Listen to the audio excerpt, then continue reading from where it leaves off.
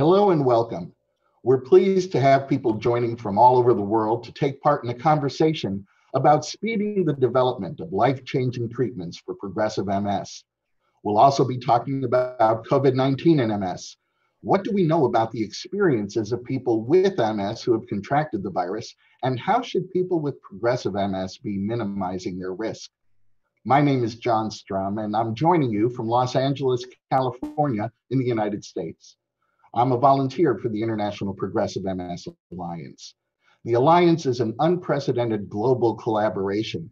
It includes 19 MS organizations, hundreds of researchers and health professionals, the pharmaceutical industry, companies, foundations, donors, and people affected by progressive MS. In short, the Alliance has brought the world together to solve progressive MS. As a volunteer, I have the honor of serving on the Alliance's Scientific Steering Committee. My wife, Jeanne, lived with progressive MS for many years and was severely affected by this complex, challenging, and difficult disease. My role in the Alliance is to bring the perspectives and voices of people affected by MS to every aspect of the research and work, ensuring the Alliance is always focused on where the most life changing impact can be achieved. I also host Real Talk MS, a podcast that reaches thousands of people in more than 90 countries around the world with information and tools to help people affected by MS live their best lives. If you're watching this webcast, you likely know that ending progressive multiple sclerosis is an urgent and unmet need. With me today are leading MS experts who are working to find life changing solutions. Professor Alan Thompson is the Pro Vice Provost and Dean of the Faculty of Brain Sciences at University College London. As a scientist and neurologist, Professor Thompson's main area of expertise is in the diagnosis, evaluation, and management of the progressive forms of multiple sclerosis. He also serves as chair of the Scientific Steering Committee of the Progressive MS Alliance. Professor Maria Pia Sormano, Sormani, excuse me, specializes in biostatistics at the University of Genoa in Italy. Her main research interest is focused on the methodological problems of clinical studies in multiple sclerosis. Professor Sormani is also currently co-leading research in Italy to understand the outcomes of people with MS that have had COVID-19. Dr. Tim Coetzee is the National MS Society's Chief Advocacy, Services, and Research Officer in the United States. He leads the Society's work in state and federal advocacy, delivery of services for people with MS, and the organization's global research programs. Dr. Coetzee is also a member of the Alliance's Scientific Steering Committee. Thank you all for joining me today, and let's get started. These have been challenging times for people throughout the world, and it's been particularly hard for people with MS who have had to deal with a chronic disease while we're in the midst of a global pandemic. So I want to start with a bit of good news from each of our panelists. In terms of progressive MS, what is one thing that people can be inspired by in terms of treatment and research? Professor Sormani? Uh, you know, uh, if I uh, give a short answer to this big question, I would talk about uh, multidisciplinarity. Uh, this, this is a key word for me for solving problems in progressive MS. Uh, and I think that this is something that uh, the Progressive Alliance is trying to do, putting together people with different expertise, because uh, progressive MS is a complex disease, and we have faced how multi multidisciplinary approach is important for facing COVID-19 pandemic. Um, so I think that um, the joint effort of different kind of experts is the key point for solving problems for progressive MS. Uh, Professor Thompson, same question. So I, I, I be tempted to give a somewhat similar answer to Maria Pia, but I think that for me, the most inspirational thing is that progressive MS is now center stage. It's um, the eyes of the MS world are on progressive MS. It is seen as the one key area that we now need to solve. So it's gone from being perhaps a little forgotten about to being center stage. Once that happens, and when you bring in what Maria Pia has been talking about, then you can really look at new ways of, of treating the condition and new, new mechanisms underpinning progression. But the key thing is that we have it in our focus, and that's where all our attentions lie. Mm-hmm. Dr. Coetzee, would you like to give us an answer to the same question as well? Sure. So I, I, I will say I, I share uh, Maria Pia and Alan's perspectives on this, and so what I would add to it is is two things. One one is the multidisciplinarity that uh, Maria Pia uh, referenced and and the focus that Alan uh, you know referred to are are also then bringing it are when they come together give us another component which is speed. We are moving faster collectively rather than individually. And so the attention and multidisciplinary approaches accelerating progress. The other thing that I would say is has different has distinguished the progressive MS movement over the last few years is the engagement of people affected by progressive MS in the work, in the conversation, in setting the strategy, as you do, Jon. Uh, and so now it's really a truly full picture where it's the scientists and people with progressive MS working together faster to solve the problem. There are a number of treatments for relapsing forms of MS, and it looks like we'll see even more in the near future. Professor Thompson, where are we in terms of treatments for progressive forms of MS? Well, I think the most important uh, thing to say here is that we have some treatment. So the good news is that in the last literally two or three years, we have moved from virtually no effective treatments uh, to having treatments which have some effect. And that, of course, means that we think about the condition differently. It is no longer untreatable. The other side of this is that the treatments we do have, and I'm thinking of ocrelizumab for primary progressive MS and more recently siponimod for secondary progressive MS, and actually also opening up some of the relapsing remitting treatments, which may be useful in uh, more active inflammatory forms of secondary progressive MS that, that's all fine, but they all tend to focus on the on inflammation, on one aspect of uh, progressive MS, which allows it to have some effect, but not quite the effect that we we might wish for. So, positive, we have some treatments. Uh, but this is it's early days. This is the beginning of of a, a positive trajectory speaking of that trajectory, Dr. Coetzee, do we see anything promising in the near future? Yes, there is. So to to to build on what Alan uh, shared, so we have uh, clinical trials of a drug called masitinib uh, that are being is, is are being evaluated in people with progressive MS. Uh, a couple of other companies have actually started phase three clinical trials of of new treatments that target um, different parts of the immune system that Alan alluded to uh, in progressive MS. And, and, these are sizable investments, you know, tens of millions of dollars in large international phase three clinical trials that build on the progress we've made uh, and what we've learned from the work in developing ocrelizumab and siponimod and, and some of these other treatments that um, are modestly effective. But the, the insights from those clinical trials now are informing as we design new clinical trials. So there is reason to be optimistic uh, that um, we will see yet more treatments moving through the drug development pipeline going forward. I, I'd also point out that you know we also have important work being done in terms of trials looking at rehabilitative informations interventions that can improve quality of life and so as we think about our agenda it's, it's both about the drug treatments that we can do but then other types of interventions that people with progressive ms can take advantage of and we need to we're doing some large studies there we obviously need to do more well we certainly want to celebrate these advances but what is it going to take to have effective therapies for all people with progressive ms professor thompson well, I think um, I, I, mentioned earlier that we have some drugs that are focusing on inflammation. So the effect of these drugs is relatively relatively modest, say 20, 25% effect. What we really need are drugs that are going to have a, an, an, effect on neurodegeneration, that are really going to protect the uh, central nervous system and that are going to help repair the central nervous system. When we get to that stage, uh, then we will have truly effective treatments, and actually we can start thinking about how we might, might be able to stop or even uh, prevent progressive MS.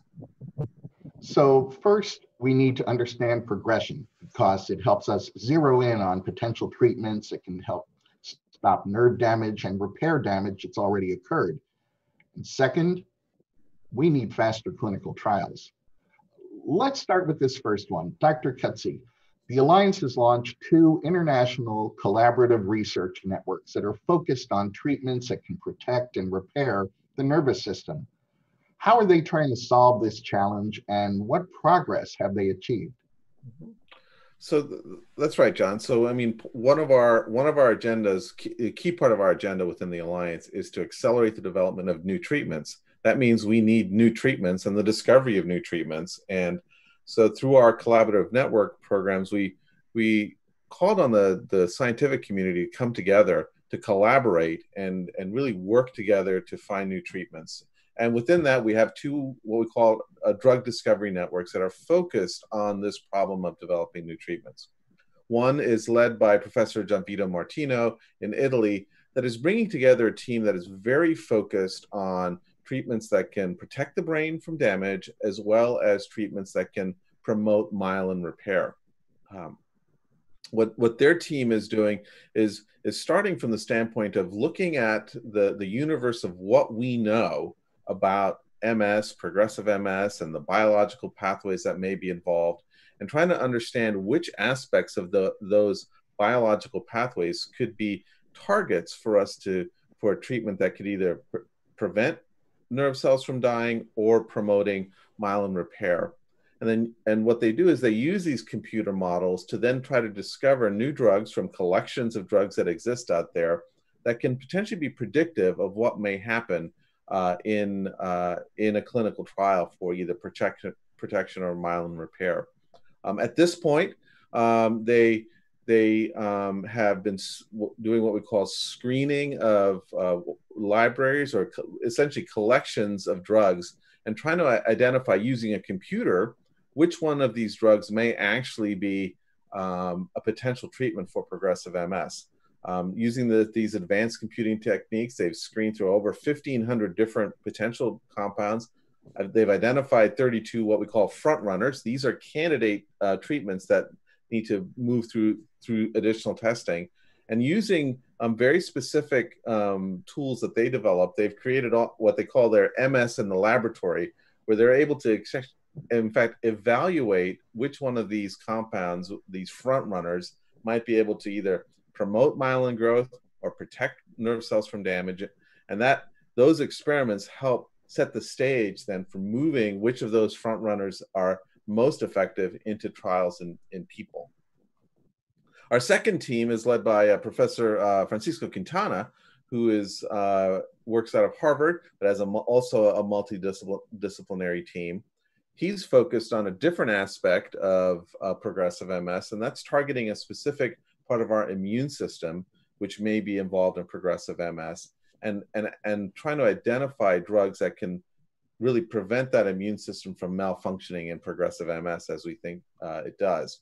Um, within Dr. Quintana's team, they've again established a pipeline to identify drug treatments that can get into the brain, target this aspect of the immune system, and then evaluate which one of those might have properties uh, as potential treatments going forward. Um, their progress is really exciting. They've um, they've identified at this point three candidates that can reduce disease activity in model systems of this immune system dysfunction. Um, they're looking at additional compounds to see identify additional front runners, as as, as Dr. Martino has, uh, and actually have identified a potential drug called migalastat, which may which has uh, promising features that can move into clinical trials. One thing also is Dr. Quintana's work was also exceptionally innovative and recently was awarded uh, the 2019 Barancik Prize for Innovation and Research, which really um, recognizes exceptional originality and innovation. And it's really an exciting to see that one of our one of the investigators funded through the alliance was recognized with that honor. So the two drug discovery networks have been successful in finding a number of potential therapies that could help revolutionize progressive MS treatment. But even the most promising of these would still have to go through the clinical trial process. Clinical trials take a long time and they cost so much. Professor Sormani, what work is being done to make trials faster and less expensive? Yeah, this is a very hot topic in, in MS research because the main problem we have for testing new drugs is how to measure, how to assess disability progression. And it's, it's, uh, it sounds crazy because I think that every MS patient can easily tell what it means for, for himself, for herself, uh, uh, his disability progression. For us who, who need to measure that, it's, it's really a problem because disability progression is a mixed um, compound of different kind of, uh, of events and uh, it's a really noisy measure. So uh, what the Alliance is trying to do is to find what we call as a biomarker. So an objective measure that, that, that can predict the clinical progression. So uh, this aim, uh, the Alliance founded a, a big grant to a highly multidisciplinary group. This is, this is really a good group of people with different expertise. And the aim is to put together all the imaging uh, we have collected during clinical trials in progressive MS. So all the, the MRI images were collected, put together uh, by the Doug Arnold group at the McGill University in Canada. And this is a, a very good group because Doug Arnold has a very good expertise in analyzing MRI data and in developing new methods for analyzing them.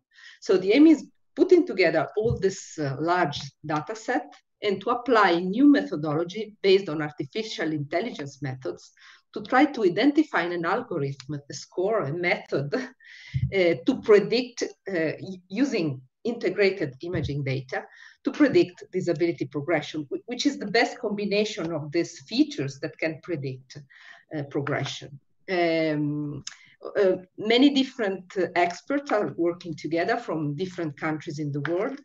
And, um, you know, um, artificial intelligence is something that is very up to date now. Everybody's talking about artificial intelligence, but uh, artificial intelligence method has been very successful in solving uh, is perception problems. So in recognizing faces, uh, recognizing uh, writing, reading, translating uh, languages. But in the medical field, it, it is very much more challenging because as you can imagine, the MRI images are not pictures. Uh, the, the, MRI images are, are, acquired with different parameters, so they're not fully standardized. Using different machine, you have to uh, correct for different acquisition parameters. So all these kind of problems must be solved before applying uh, these artificial intelligence methods because uh, also an artificial intelligence to learn must have must have a good uh, sample of things to, to, to learn on. And the second problem is the number. You know, uh, recognizing faces is a successful task because we have at our disposal millions, billions of images. Uh, images are easily collected by taking a picture, they are posted on the web. So it, it's something that it, it's very easy to achieve. But this is not the case for medical images. You, you know how long does it take to uh, it takes to acquire an MRI scan, and uh, I mean there are issues related to, to privacy uh, of patients. So uh, this project, uh, led by Doug Arnold, is a very ambitious project, and uh, it will be able to collect enough images to apply this artificial intelligence methodology.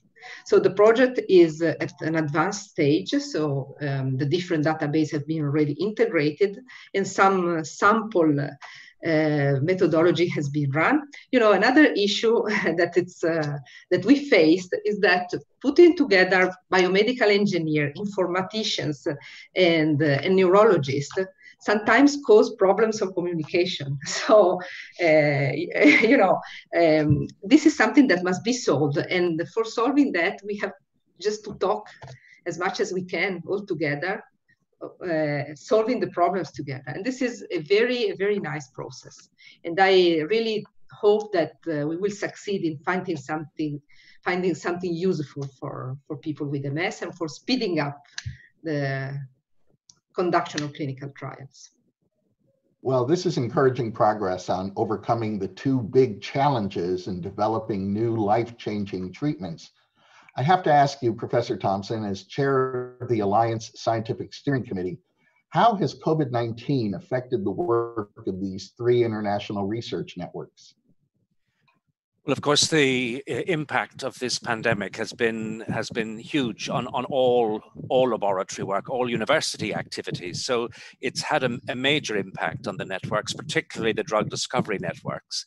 Um, and basically, they're either had to stop from mid-March, or they're working at very limited capacity. Um, we've been meeting with each of the network leads to evaluate the status of their work and have been uh, uh, understand that actually they're all going to be able to resume and move ahead in the very near future. Each network will have a unique plan to get back to full operations and have adjusted milestones for completing the projects. There'll inevitably be some some delays. However, they've all provided assurance that they're confident they will achieve their intended outcomes. And in the next few months, we'll get a better grasp of exactly what the revised plans look like, and perhaps more importantly, what we can do to support their success and make sure they achieve what they have set out to achieve. Well, COVID 19 is impacting people with MS in a myriad of ways, including slowing, but thankfully not stopping vital research that leads us to our other big question for today. What are we learning about COVID 19 and MS? I know there have been significant efforts to gather information on the experiences of people with MS who have contracted the virus. Uh, Professor Sormani, Italy was one of the first countries to have to deal with the pandemic. Tell me about your efforts there regarding people with MS. Yeah, yeah, you're right. Italy was probably the first uh, country in Europe to be hit strongly by the virus. And, uh, you know, uh, all the medical doctors were completely involved by managing the pandemic. And uh, uh we, as a, a, group of statisticians, we, we really wanted to do something. And uh, so the only thing that we could do is collecting data. So we started, we started an initiative. And again, um, during the pandemic to to carry on this initiative we need the help of, of a lot of people and we had this kind of help um, for example we had a platform for collecting the data that was donated by Roche, that is a pharma company who, I mean, simply donated the platform. It gave us an instrument, a working instrument that would have taken a, a lot of time to be set up. And the pla platform is a web-based method to collect data so that all the neurologists can insert the data into the platform and the data are immediately collected in a unique database. So they're immediately ready for the analysis and they can be easily corrected, revised, and, um, and, and, analyzed during, during the time.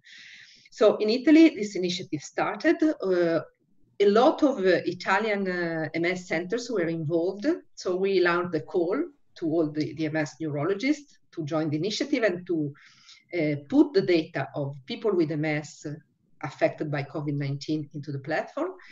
Uh, we started at the beginning of March, and now we, we have more than 1,000 uh, patients into the platform, not just from Italy, but also from other countries, because the platform is open, it's an open system, so everybody can join the initiative and put their data into, into the system.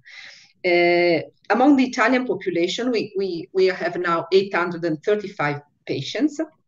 Most of them are relapsing remitting, but we collected also data of 140 progressive MS patients.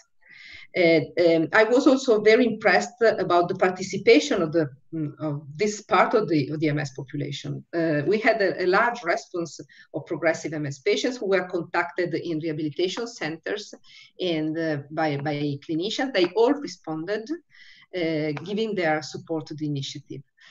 I mean, uh, uh, what we learn about, about COVID-19 in MS, I think that the first thing that we learned is that we didn't see any uh, alarming signal. You know, MS is a complex disease, and people with MS are uh, treated with with a number of treatment with really different mechanism of action interacting with the immune system. So there was a, a great concern about the, the possibility of having a higher risk of a, of a severe COVID-19 uh, course in, in people with MS. But this was not really the case, talking on the average but also in the progressive MS group, that is, of course, uh, the group at the higher risk not because they are they have progressive MS, but because they usually are older people uh, with a comorbidity, because MS is a comorbidity, and we know that in the general population, uh, these kind of people are at higher risk of COVID-19. Anyway, between the 140 uh, that we had in our cohort, 90 of them did not require any hospitalization. So among 140, 90 patients had COVID-19, they had progressive MS, and they uh, had a very mild disease course. And among the 40 patients who were hospital hospitalized, 30 fully recovered. So of course we have a mortality of 7% in our cohort. That is not that high. I mean, it's uh, really comparable to the mortality rate of the normal population of the same age. And of course, same disability because progressive MS people have some disability that expose them to some uh, to, to, more complication. So I can say that the, the, the signal emerging from this uh, uh, analysis is quite reassuring.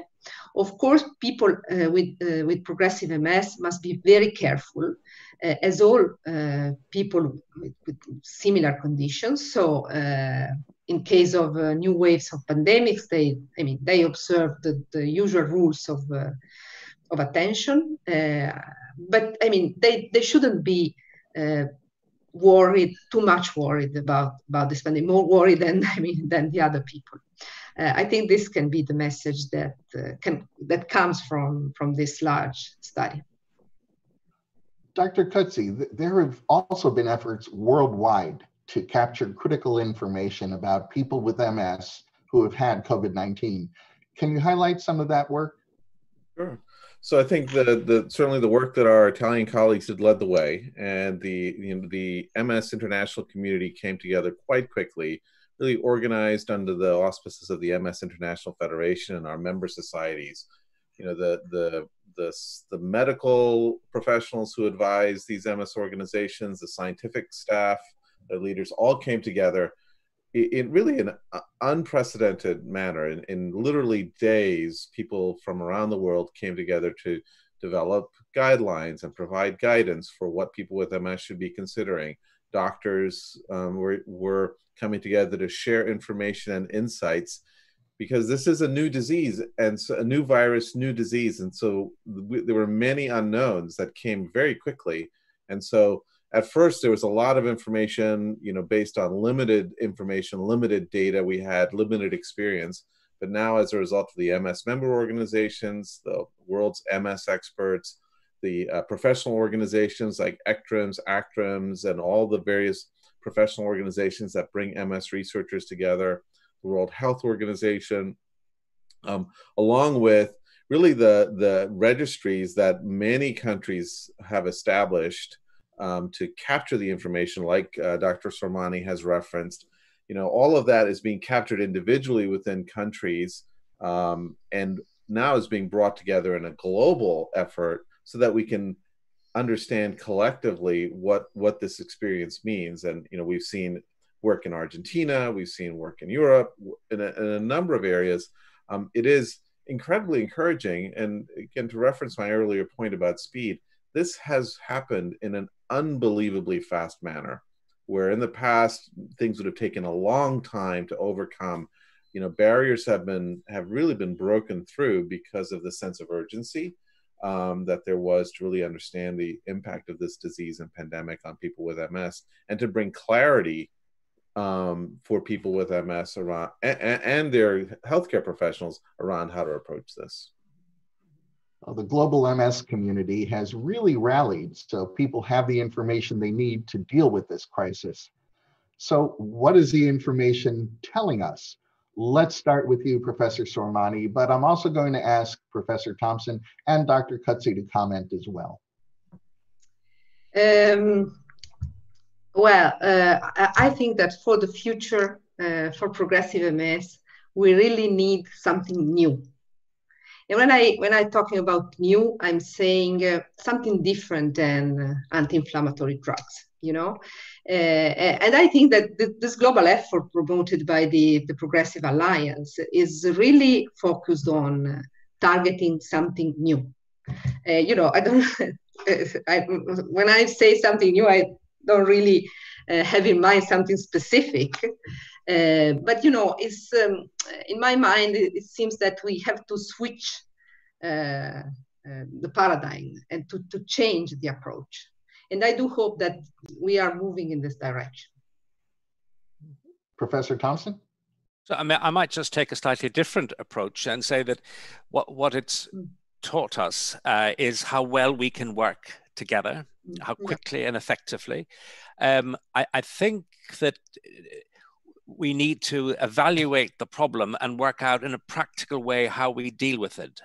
And I think in terms of of, of managing our uh, MS and managing the, the, condition, that we we don't make rash decisions, but we balance all the risks uh, before we actually take decisions and get expert advice before we do so. So I think, I mean, that sounds maybe a little boring, but I think it's a, a practical and pragmatic approach that we can take internationally, uh, learning from each other, and I think we've done that remarkably well. Uh, Dr. Coetzee? you know, I'll, I'll build on Alan's comment. I, I, think the COVID experience has illustrated how the MS community can come together to both quickly try to understand what we know, what we don't know, and how to share that information with professionals around the world, as well as people with MS, to equip people with MS to understand how to manage their disease and what steps they should be taking uh, around this. Uh, you know, I think the when you step back also and look at COVID nineteen and its impact on our on our uh, on on the global community and the global research community, MS as well as other areas, I think we're seeing what can happen when when there is a focused effort to to solve problems and to understand what what we know and don't know and do it in as quickly and as focused a manner that sets aside personal interests and personal sort of scientific agendas. Um, it is something that this pandemic has illustrated very powerfully in a really a remarkable way. And my hope is that what we learn from this is that we can take some of what's worked exceptionally well uh, and to replicate it in MS and other in progressive MS and other areas. Uh, you know, I think the the um, the pandemic has also taught us um, the importance of understanding how our words move across the globe quickly and how guidance in one part of the world quickly spreads to other parts of the world through the power of the internet, social media, and other pieces. And I think, you know, when we step back and reflect, we'll also understand how critical it is that we quickly communicated trustworthy information that people can can use systematically and that um, the speed with which you know information was needed is something that I think we're still adapting to. Well, Dr. Coetzee, I'm glad you brought up the issue of guidance. If people with progressive MS are at higher risk of contracting COVID 19, what should they be keeping in mind? What should they be doing? Certainly. So let me clarify a thing, and I hope I just want to underscore something Dr. Sormani uh, highlighted is that having progressive MS in and of itself is not necessarily predisposing someone to to contracting COVID um, what the data is telling us is that we're all at risk of developing COVID, and some of the other diseases we may have, along with potentially having progressive MS, could potentially have an impact on on, on the outcome. So I think it's important to underscore that aspect of it. Um, but I think what I would encourage individuals to do is, you know, either visit their MS Society's website or also visit the MS International Federation's website, where there is quite a bit of uh, really actionable information people can use you know we we are advising that you know individuals you know take steps to reduce the risk of infection and follow the world health organization's recommendations which are really quite common sense of washing hands frequently avoiding touching eyes nose in their nose or mouth unless your hands are clean practicing social distancing of at least one meter between yourself and others. I'll stipulate i know Jon Jon and i were discussing not necessarily being done effectively in many countries but really practicing social distancing can really prevent people from from from getting the disease uh, avoiding crowd avoiding crowded places and you know practicing food safety and the like. Um, you know we're recommending you know and this many of the authorities are recommending wearing a face covering or face mask in public and avoiding big public gatherings crowds and public transportation. You know if possible using alternative alternatives to face to face routine um, medical appointments. You know, the, the other aspect is certain people might be at a slightly increased risk of becoming ill. Uh, and so really, it, what we want to do is, you know, if, if a person has progressive MS or if they have MS and are over the age of 60 or have a higher level of disability or have other diseases along with their MS, like heart disease or lung disease, to really pay attention to exposure because exposure to COVID 19, if you're in those categories, really is increase create some increased risk but it's it's really about taking the steps that each of us can do to prevent exposure which is the most common sense thing that I, I think most individuals could do. What about individuals that are on some form of disease modifying treatment? Uh, professor thompson as a neurologist treating people with ms what guidance is being provided well, Jon, I mean, the first thing to say is that many, many people are on disease-modifying treatments, effective treatments that are making a major difference to their uh, to their MS, and yet we know that for a variety of reasons, some people have stopped their treatments as a result of this, often quite unnecessarily. So I think there's been a, quite a lot of guidance has been provided. There have been studies done in a number of countries, in Spain, in, in Holland, uh, and se- several of these studies have already been published. There's quite detailed information on the MS International Federation website. I mean, we know that many disease modifying treatments work by suppressing or modifying the immune system. And so some MS med- medications may increase the likelihood of developing complications from a, a COVID-19 infection. But this, this risk needs to be balanced with the risks of stopping or delaying treatment. And that's really important. So some of the recommendations, which again are, are quite common sense, but aren't always adhered to, is that people with MS currently taking disease modifying treatments should continue with their treatment people who develop symptoms of COVID 19 or test positive for the infection discuss their MS therapies with their MS care provider or another healthcare professional who is familiar with their care. So they have those discussions before taking any, any decisions. I think for people who are starting on any new treatments, uh, they must uh, discuss with their healthcare professional which therapy is the best choice for their individual disease course and disease activity in, in light of COVID 19 risk in, in the region. So, there, I think one may be looking at slightly different choices or different balances, and that's a really important discussion. But that's for people that are starting on treatment for the first time. So, overall, no rush decisions, no rash decisions, and just thinking th- things through carefully and going for a balanced approach, managing risk effectively. Mm-hmm. Well, this data collection about how COVID 19 impacts MS is ongoing. What are some of the future questions that this work might address? Dr. Coetzee? Certainly, and I, I, imagine Dr. Sormani has something to say on this too. I, I, think that you know, first of all, this data collection is critical because what it will do is it will give us the insights that help us update our advice. I mean, our advice is based initially on limited information. The more we know, the more experience we have, the more contemporary our advice will be. A couple of other key questions that we need to be prepared for is as treatments for COVID 19 are developed, we will need to understand how they interact with MS treatments and the effect they may have on those MS treatments. Again, this is a new disease, so there's a lot we don't know about these innovative treatments and their interaction with other treatments a person may be taking. Um, another key question is relates to the vaccine. When a vaccine is available, you know, there's a, there are important questions about how it will interact and what it will mean for individuals who are at high risk um, what it means for individuals who have MS, who may have been on a one or different types of treatments. You know, the the critical issue is that we'll, we will need to understand it, but that's where this these kind of data collection efforts and these systematic studies that are being conducted will be very important. You know, the, the most important thing I would say for individuals listen, watching um, this this um, webcast is to continually visit their um, their organizations' websites and to really understand and see what's happening, visiting the MS International Federation website is a great resource, which will have the latest guidance as well as their home countries, their MS organizations uh, website. Well, on today's webcast, we've seen the power of global collaboration. When we can get everyone working together to solve the most complex challenges, we can accelerate progress, whether it's finding a life changing treatment or ensuring that people have the best information available regarding COVID 19. And as we come to our session's close, I'd like to ask each of our guests what the future holds when it comes to developing new treatments for progressive MS. Where do we need to focus next, Professor Sormani? And again, I'd like Dr. Coetzee and Professor Thompson to comment on this as well.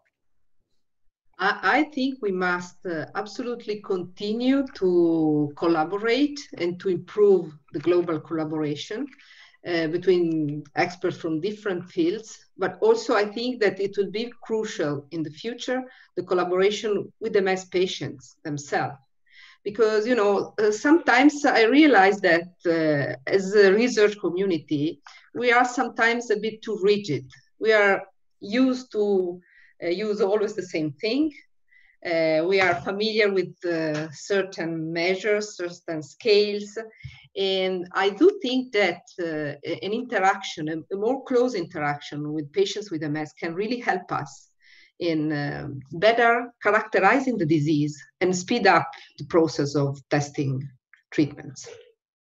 Dr. Coetzee? So I think Dr. Sormani touched on what what I think is a critical area that is part certainly part of our ongoing work in the alliance, but I know is part of our future as well as many scientists, and and that is getting deeper understanding around what is happening in progression, understanding disease, the, what progressive MS is, the disease, and all the different processes that contribute to what we know as progressive MS. Being able to have that clarity um, will help us identify which are the part, how early we can intervene to prevent disease progression from happening and really stopping uh, progressive MS as, as early as possible. That requires us to stu- you know do some more work and study and understand but that foundational knowledge will enable us to, to discover the treatments that will transform the disease uh, as we as we hope to for the future. Professor thompson so i mean i i i'm not left with too much to say but i so i absolutely agree that understanding mechanism of progression is critical. Developing and identifying new targets and i think that is the work that's going on through the networks uh, and through the alliance but that needs to continue and it, it's, it's absolutely fundamental. If i was to think of one other thing it is to look at all the other factors which make progression worse uh, and over which we have control and I'm thinking about things like smoking and various other. I, I think paying particular attention to this at the same time as we are sorting out the underlying mechanisms is uh, would be a really good idea. Well, the International Progressive MS Alliance is rallying the worldwide MS community and fueling important research to get effective treatments to people who need them. The Alliance continues to inspire hope and make progress, and still, we must and will do more to end progressive MS. Thank you to our panel of experts, Professor Thompson, Professor Sormani, and Dr. Coetzee. And thank you for joining us today. Please stay connected to the Alliance through our regular webcasts and your MS organization. And please share the work of the Alliance with others. We need everyone to be a part of this effort because together we are stronger than progressive MS.